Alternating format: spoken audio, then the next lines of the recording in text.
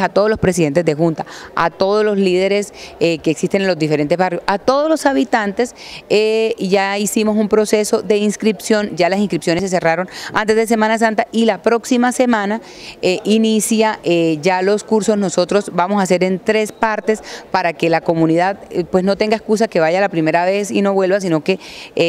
haga todo el proceso de formación en Ciudadanos Digitales, lo vamos a hacer en la Neme, lo vamos a hacer en el kiosco Vive Digital que está en en, el que conocemos como sector de Invías y lo vamos a hacer también acá en el complejo histórico. Son tres puntos para que eh, lo que está dividido Caña, pues el sector del sur, del norte o el centro, pues puedan eh, ser fácil capacitarse y asimismo también el 7 de mayo, eh, Mario, tenemos una invitación para todas las personas que se inscribieron para los campeonatos que tenemos de minitejo, de microfútbol y de básquet, el 7 de mayo a las 7 de la noche en el Centro Convivencia Ciudadana nos vamos a reunir para saber cuántos equipos eh, van a jugar y vamos a jugar hasta julio. También dentro de eso vamos a hacer una maratón